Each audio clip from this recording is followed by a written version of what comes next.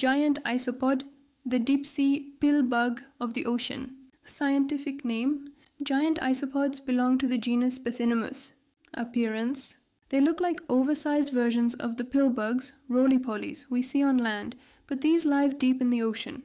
Size Unlike tiny pill bugs, giant isopods can grow up to 20 inches, 50 centimeters long, about the size of a football.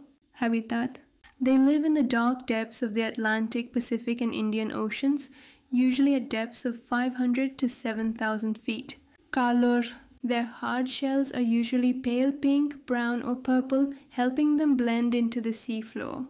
Diet Giant isopods are scavengers, feeding on dead whales, fish, and squid that sink to the ocean floor. Survival skills. They can survive months to years without food, slowing their metabolism in the cold, high pressure deep sea. Behavior. Despite their creepy look, they are not dangerous to humans and spend most of their lives crawling slowly along the seabed. Family connection. They are distant relatives of shrimp and crabs, but their closest cousins are the tiny woodlice found in gardens. Fun fact Giant isopods curl up into a ball like shape when threatened, just like their small pill bug relatives on land.